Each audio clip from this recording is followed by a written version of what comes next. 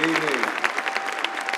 Um, I played the sax as a teenager and have been a committed jazz fan for most of my life, so it's a thrill for me to be hosting the gala once again and to be part of this very special evening with so many jazz icons. I am a huge nerd right now. Uh, yesterday, 13 of the world's most accomplished young trumpet players participated in the nail-biting semifinals, and tonight you will hear the three selected by our esteemed panel of judges to perform in the final round.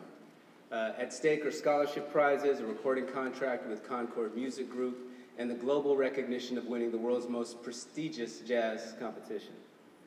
It is now my honor to introduce the judges. And it is so wonderful to be here this evening to participate in the jazz world's most important show of the year.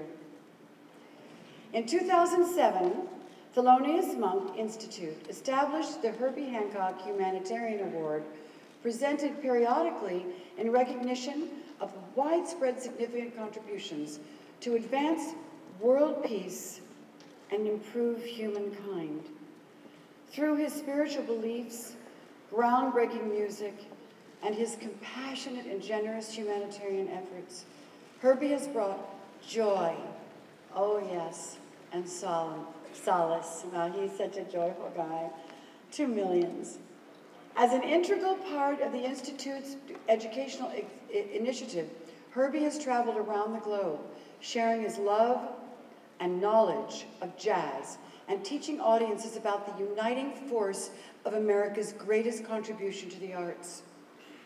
And, and when presidential hopeful Bill Clinton, sporting Blues Brothers sunglasses, played his sax on Arsenio Hall's talk show in 1992, he created an indelible historic image.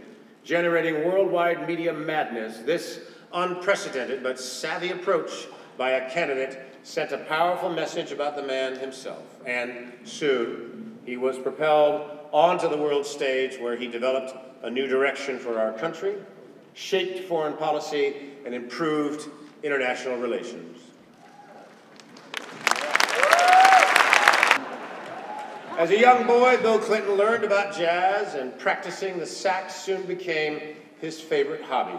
Playing in school jazz ensembles and later winning first chair in the Arkansas State Band sax section, his music education served as the foundation that shaped his imagination and creative vision.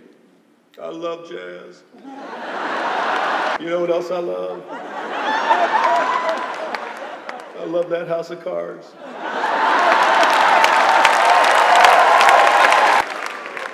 Ninety-nine percent of what they do in that show is real.